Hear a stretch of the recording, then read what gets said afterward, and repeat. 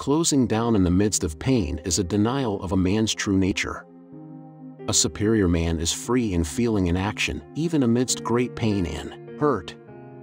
If necessary, a man should live with a hurting heart rather than a closed one.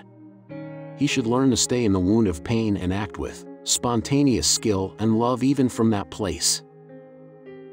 Imagine failing at a major project, lying to your woman and getting caught, or overhearing her joke about your shortcomings in bed. How do you react with your body, breath, and eyes?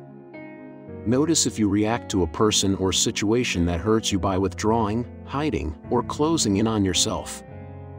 Notice if there are times when you find it difficult to look into someone's eyes, or times when your chest and solar plexus become tense and contracted.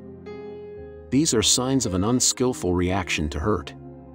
Contracted and closed in on yourself, you are unable to act. You are trapped in your own self-protective tension, no longer a free man. The superior man practices opening during these times of automatic closure. Open the front of your body so your chest and solar plexus are not tense. Sit or stand up straight and full, opening the front of your body, softening your chest and belly, wide and free.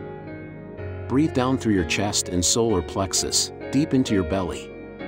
Look directly into the eyes of whomever you are with, feeling your own pain as well as feeling the other person. Only when the front of your body is relaxed and open, your breath full and deep, and your gaze unguarded and directly connected with another person's eyes can your fullest intelligence manifest spontaneously in the situation. To act as a superior man.